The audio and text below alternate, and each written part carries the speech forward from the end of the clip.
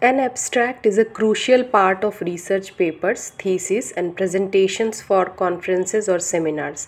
It provides a brief summary of your work, helping readers quickly understand its main points without reading the entire document. And in this video, I am going to discuss about the five key steps of abstract writing. Number one, objective or problem. So begin by stating the main objectives of your research or the problem you are addressing. What is the key question or issues you your work is focused on? Second thing is method. So briefly describe the methodology or approach used in the research results uh, section is most important so summarize the significant findings of your research what were the key results or outcomes and how do they address the problems or objectives?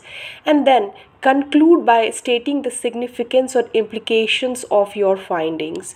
So if we talk about the word limits then for objective writing it is 30 to 40 words. For methods you can go up to 50 words.